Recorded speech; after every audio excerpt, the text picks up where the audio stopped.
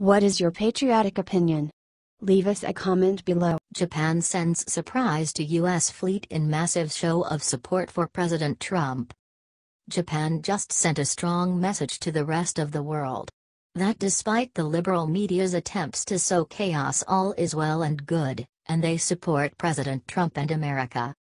And are ready to take action to prove it. Advertisement Allies are important as President Trump knows and if you listen to the media all you will hear is that Trump makes our allies nervous. Not true, Trump has a great relationships around the world. And after North Korea threatened to attack Guam, Japan proved their loyalty.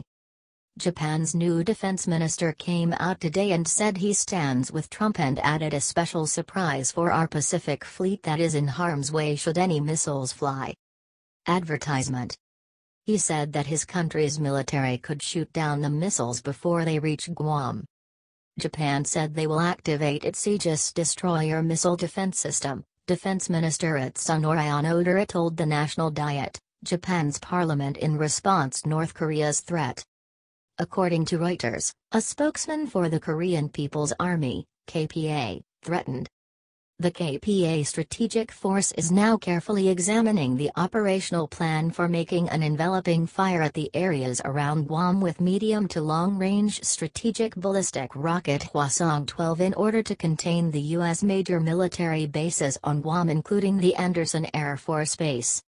Japan responded by reminding the world that any attack against Guam is a threat and attack against Japan and cited Japan's mutual defense agreement with America as just one of the reasons they will stand with America.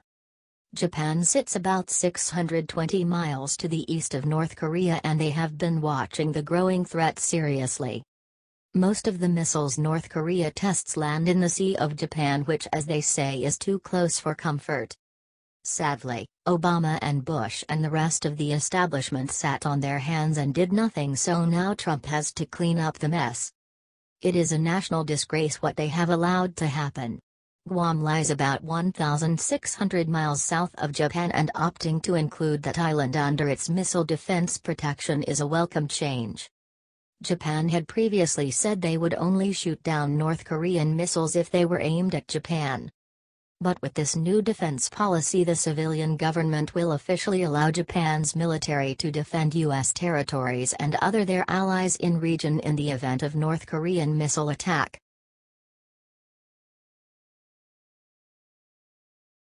This is justice. Criminal illegal alien leeching welfare for 20 years gets deported to Mexico. If you ask the lying lefties about the immigrants, they will say that they are the most innocent people that ever lived on this planet. They will add how they are not violent and that they do not represent a threat to the American society. They will say anything different from Trump's opinion all in order to make him look bad. That is why they attack the president about his decision to sign the travel ban. Well, the travel ban is actually the best thing that happened to this nation. Thanks to it, the real danger will no longer walk freely. Proud Patriots reports that a mother of four living in Ohio was deported to Mexico after a traffic stop exposed her for being illegal for nearly 20 years. According to reports by CBS News, 37-year-old Beatriz Morelos Casillas was arrested for driving without a license near Cleveland, Ohio. After the arrest, she was deported back to Nuevo Laredo, one of the most dangerous places in Mexico. Her husband, on the other hand, has a legal working visa. He only wants his wife to be safe but also together with their other relatives he thinks that this is unfair. Christian Enrique Gutierrez Morelos and his wife, Sonia, are aching over the quick deportation of their Aunt Beatriz. Christian stated, She's scared, I believe she's more scared for her children than for her right now. Elizabeth Ford, an immigration attorney working on Beatriz's behalf, said, What happened to Beatriz was the direct result of the new administration and the policies that have been given to ICE. People with no criminal history are being told they have to leave the country in a very short amount of time when they've built an entire life here with children and houses and families and jobs. Thomas Homan, acting ICE director, responded, ICE prioritizes arrests based on criminal threats, national security, those who violate immigration laws. They defend her by saying how the woman is decent and didn't have any criminal history. Are you kidding me? She lives illegally in here for 20 years.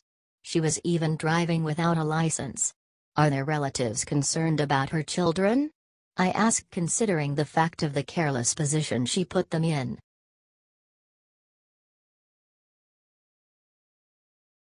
General Mattis issues new orders to military, liberals' jaws hit floor with loud thud. When President Trump appointed General Mattis to Secretary of Defense, he knew the man changed the way things work in America in regards to protecting this nation. The former Marine only has one concern in his life. He wants to make the U.S. military the biggest most lethal group in the world. It's a good time to ruin the world's bad guys and General Mattis is the person to do it. Advertisement. That means eliminating everything that is wasteful.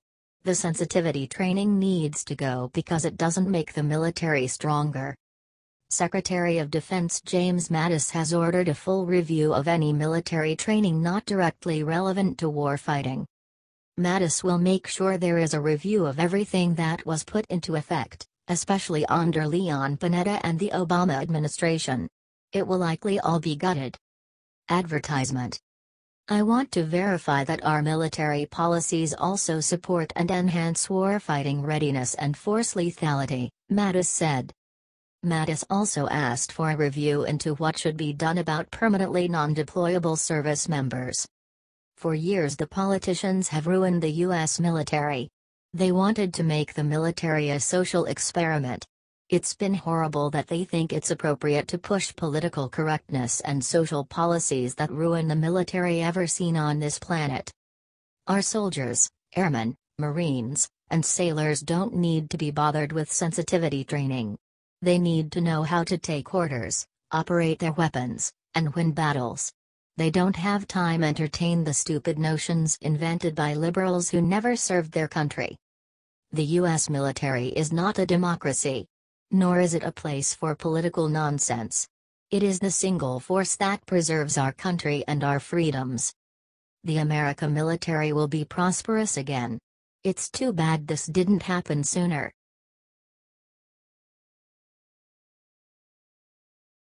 Breaking Trump fires shot heard loud and clear by every senior citizen in America. Every single senior citizen in America knows how expensive the costs of prescription drugs are. Just as every single senior citizen knows the real tragedy in America is that people who have paid into system all their lives, are asked to pay more when they finally try to redeem their already earned benefits. It is a scandal and I consider it a form of blackmail. For when you are sick or start a drug regime as you get older you got no leverage. Advertisement even though you paid into the system your whole life.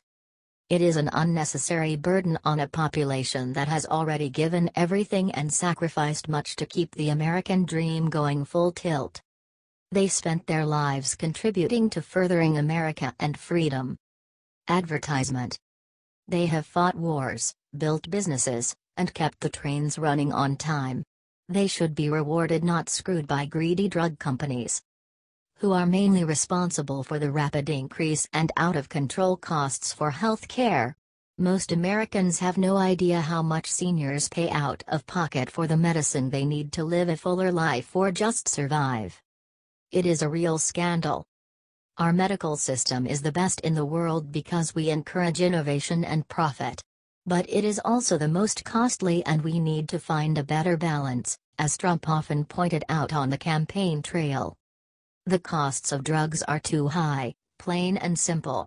When you consider what they cost, the same drugs mind you, in Canada one can only come to the conclusion that the drug companies are ripping off American citizens. Trump has played nice so far but the behind the scenes he has been battling hard for Americans. After the Obamacare repeal debacle by the GOP Congress most thought Trump has given up on getting us a better deal on health care. Not a chance. Trump just tweeted. Now that Ken Frazier of Merck Pharma has resigned from President's Manufacturing Council, he will have more time to lower rip-off drug prices.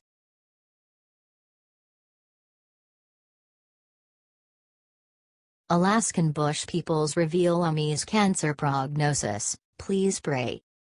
Ami Brown from Alaskan Bush people is diagnosed with lung cancer. It was recently announced on the TV series that Ami has lung cancer which is in stage 4.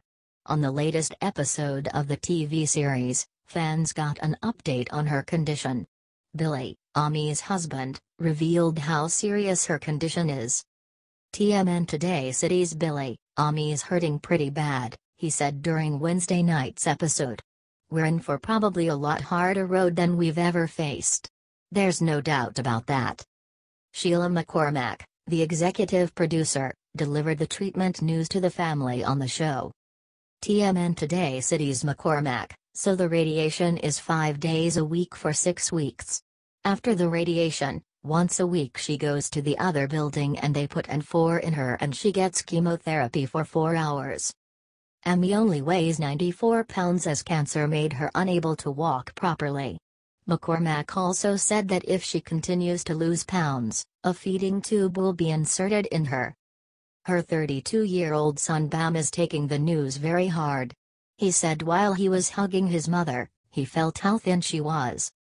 TMN Today City's Bam, What's going on now is the most difficult thing we've gone through because of who it's happening to, because it's mom and because of what it is. It makes a house burning down or a boat sinking or needing five stitches no big deal. This is really difficult. I don't even know what to say. The Brown family is saddened by Ami's condition. However, they are fighting to save her life. In this case, they should be prepared for the worst case scenario. Cancer is one of the leading causes of death worldwide. In 2012, cancer took 8.2 million lives worldwide. It is expected that this number will rise in the next 20 years. Our thoughts and prayers are with the Brown family during this hard time.